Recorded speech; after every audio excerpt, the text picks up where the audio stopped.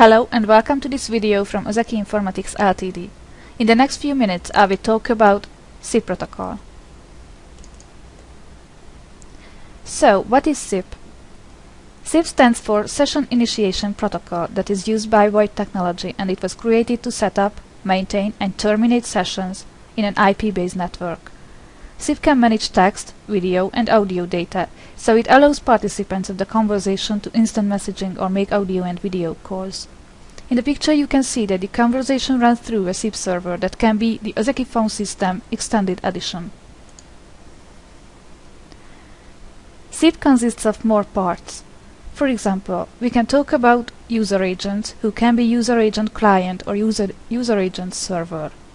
The client can be IP phones or soft phones that generate requests and send it to the server when you would like to call another IP phone user.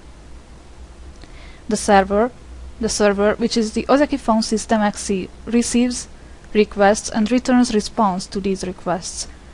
We can talk about more types of servers, so let's see them in a few words.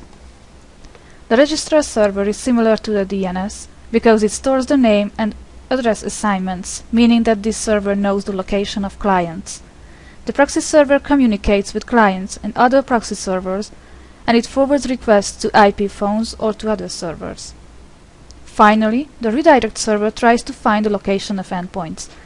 It, this feature is useful when mobile users use the network and their location is always changing. During the conversation, some types of message, messages are sent by clients and servers as well. Now you can see a few types of messages. The register matches is, message is sent by the user agent client to inform the SIP server of its location. The conversation always starts with an invite message that is sent by the caller to the other endpoint to initiate the session. Then the other endpoint signs it with an OK message to receive the request. The last message of setting up the session is the acknowledgements message. This is a receipt signing that the conversation has been started. The session may end it with two possible types of messages. First, the message can be a cancel message when the session hasn't been started yet, or it can be a bye message when one of the client would like to end the call. Ozeki Phone System XE is a SIP server that is always in the center of communication and its most important task is to forward call requests to proper destinations. In the picture you can see that the system can work with other servers using a trunk link. The two servers are in a different domain but because of the trunk link their users can communicate with each other. For example, extension 1 and extension 4 are in different domains and if the first phone tries to call the fourth phone, the asterisk server have to know that the fourth phone belongs to the Ozeki phone system XE, so asterisk has to forward the request to Ozeki phone system XE that forwards it to the fourth phone. You can use Ozeki phone system XE with any types of IP phones.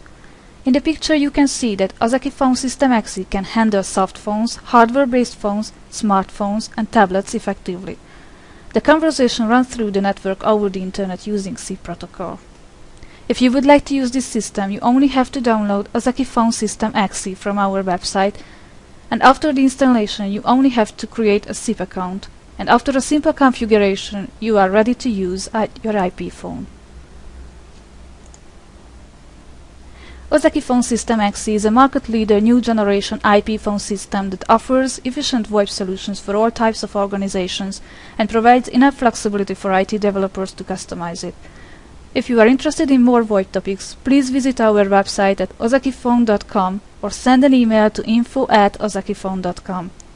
Thank you for your attention.